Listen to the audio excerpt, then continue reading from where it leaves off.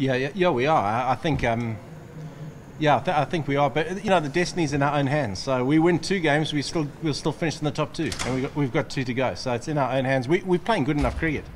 I just think tonight was a fantastic game. I think it was something something the tournament needed. I- Imad's, he's, he'll stay in. He'll stay in for observation. Um, he's gone to hospital. He's going to have a CT scan, but he, but he seems okay. I think it's probably just knocked some sense into him. Actually, that's a joke. I don't want it, I don't want that to go on the front page of all my papers.